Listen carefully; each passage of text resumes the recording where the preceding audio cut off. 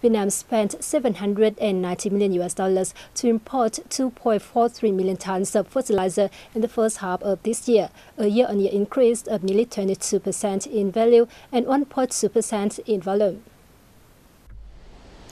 In June alone, the country purchased 432,000 tons of fertilizers worth 129 million US dollars.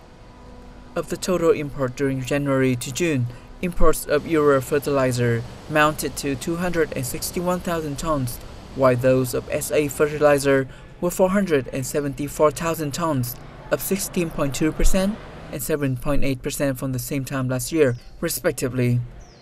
Vietnam's imports of organic fertilizer have surged in the past three years, reflecting increasing demand for the green products. Last year alone, Vietnam imported about 220,000 tons of organic fertilizer, double the amount of 2016.